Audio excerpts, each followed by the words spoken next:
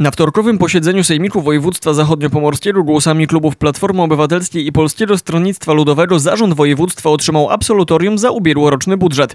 Według polityków PiS głosowanie miało charakter polityczny, a nie merytoryczny, bo gdyby przyjrzeć się wydatkom w województwie, to jest tam wiele elementów, które się nie zgadzają. Uchybienia popełniane przez y, zarząd wskazują na to, że tego absolutorium nie należało udzielić.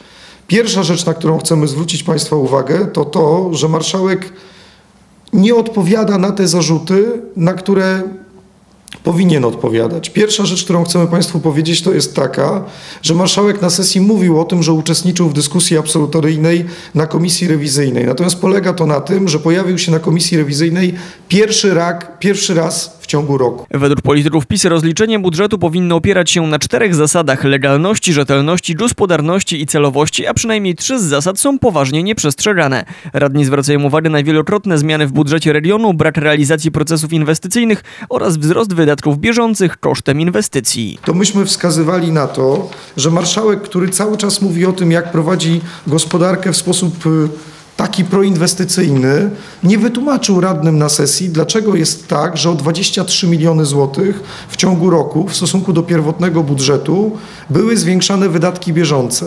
Dlaczego jest tak, że już pewną tradycją stało się to, że wydatki majątkowe nigdy nie są zrealizowane w 100% i są przesuwane w czasie, natomiast wydatki bieżące rosną. W połowie maja w Kaliningradzie odbyło się forum samorządowe. Wzięli w nim udział radni sejmiku, choć politycy PiS nawoływali, by tego nie robić. Miał to być wyraz solidarności z narodem ukraińskim. Kluby jednak nie posłuchały i reprezentacja znalazła się na forum, co zostało skrytykowane. Powiedział, cnotę stracił, rubelka nie dostał. Nie ustalono tam bowiem niczego ważnego dla województwa zachodniopomorskiego, a pozostało tylko złe wrażenie.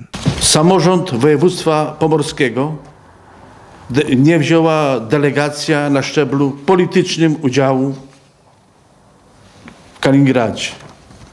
Tu na zapytanie pani Iriny, Ireny Mariak z Centrum Koordynacji Pomocy Ukrainie skierowanym do, również do pana marszałka o ten wyjazd, pan marszałek odpowiedział. Stanowisko województwa zachodniopomorskiego w sprawie kryzysu na Ukrainie jest zbieżne z prowadzoną przez Unię Europejską i rząd Rzecz, Rzeczpospolitej Polskiej polityką międzynarodową. Inna sprawa dotyczy elementów niegospodarczych, a obyczajowych. W ogniu krytyki polityków znalazł się komiks wydany przez Urząd Marszałkowski dołączony do jednego z dzienników. Nosi on tytuł Wszyscy jesteśmy równi, ale nie tacy sami i jego zadaniem, jak sama nazwa wskazuje, było szerzenie tolerancji. Z mamy, taty, córki, syna zwykle składa się rodzina. Tak najczęściej jest na świecie, w Polsce także, ależ przecież, gdy dorośli zdecydują, by postąpić tak, jak czują, wtedy w zgodzie z prawem mogą iść przez życie własne, własną drogą. Czasem w życiu tak się składa, śmiać się z tego nie wypada, że dom wspólny lub mieszkanie ma dwóch panów lub dwie panie. No, czyli zgodnie z hasłem, nieważna jest płeć, ważne jest uczucie. Zobaczcie, czym się karmi nasze dzieci. Urząd Marszałkowski wydanie broszurki argumentuje koniecznością szerzenia tolerancji wśród młodych ludzi. Poruszono w niej na przykład temat tolerancji wobec osób innych ras czy niepełnosprawnych.